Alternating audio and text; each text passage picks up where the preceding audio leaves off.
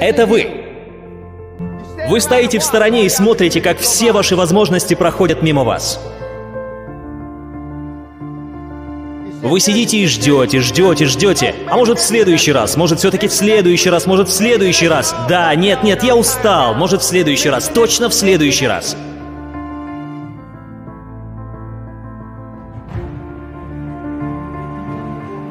И вот появляется кто-то вроде меня, тот, кто запрыгивает на жертву и съедает ее.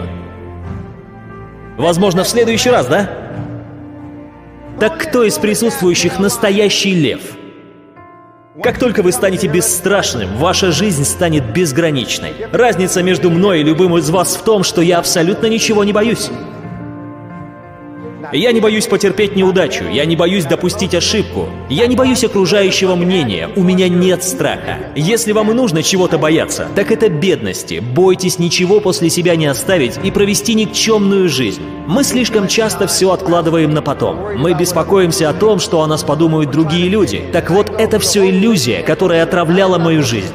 Как вы думаете, из-за чего мы чаще всего совершаем ошибки, включая меня? Из-за того, что мы не контролируем свои эмоции. Все мы с вами живые люди, все переживают, все нервничают. Но важно не то, что происходит с вами в вашей жизни. Важно то, как вы на это реагируете. Я просто двигаюсь дальше, зная, что это нормально. Я так привык к своему успеху, что для меня уже не может быть иначе. Никто не заинтересован в неудачах. У меня тоже были неудачи. За прошлый год я перепробовал 22 различные вещи, 20 из которых потерпели неудачу, и только две получили большой успех. Все хотят только успеха, но без неудач это невозможно. Просто знайте, что любая неудача — это опыт, а он рано или поздно приведет вас к успеху. Существует длинный список вещей, почему вы там, где находитесь сейчас. Все потому, что вы просто ничего не делаете. Вы сидите и ждете чуда, вы не хотите ошибиться. Вы по уши в долгах и кредитах, у вас две бывшие жены, у вас 15-летняя дочь, которая еще и беременна. И я могу продолжать этот список.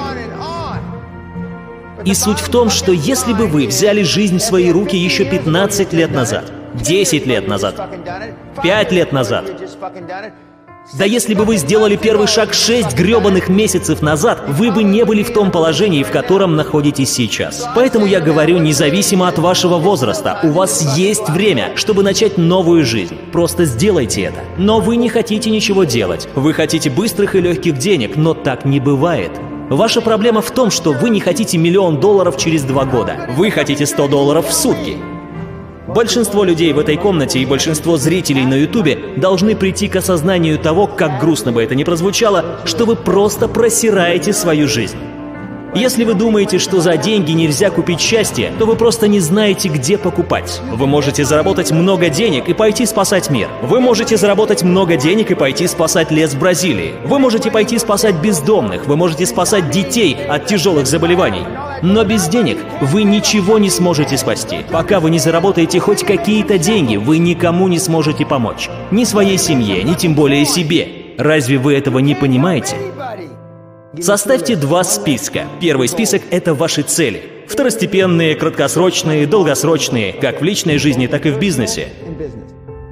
Во второй список вы записываете всех тех людей, с которыми общались за последнюю неделю. Предположим, что в вашем первом списке 8 целей, а во втором списке 10 человек.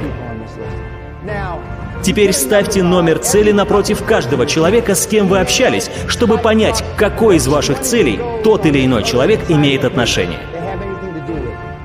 В результате вы будете поражены и шокированы. Покажите мне своих друзей, и я покажу вам ваше будущее.